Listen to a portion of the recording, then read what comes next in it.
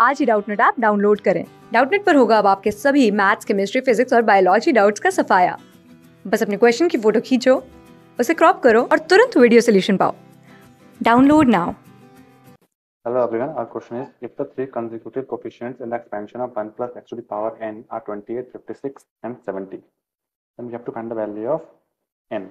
So let three consecutive coefficient be that is nc r minus 1, this is equals to 28 and nc r is equals to 56 and NCR plus 1 is equals to 70. These are three consecutive coefficients. Now we to know two important properties of binomial.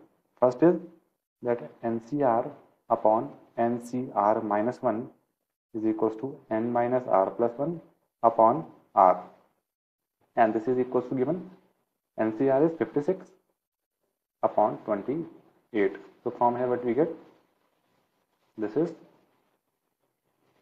n minus r plus 1 is equals to 2r 28 and this is 2 this is 2 times cancelled.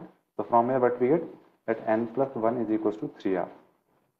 Now, another relation we know that is ncr plus 1, same this only, ncr is equals to, this will be n minus r upon r plus 1 and this is equals to 70 upon 56.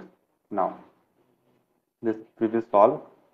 So, this is n minus r upon r plus 1, this is equals to 5 by 4.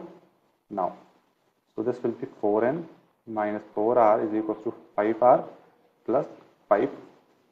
So this will be simplified as 4n minus 5 is equals to 9r. Now we need to solve this this equation and this equation. This is let this be first, this be the second. So from here, so dividing both the equation, what we will get? This is 4n minus 5 upon this is n plus 1 n plus 1 and this is equal to 9r by 3r. So from here what I get this r and r gets cancelled this is 3 times. So this will be 4n minus 5 is equal to 3n plus 3. So from here what I get 4n minus 3n is n is equals to 8. So this only we have to find.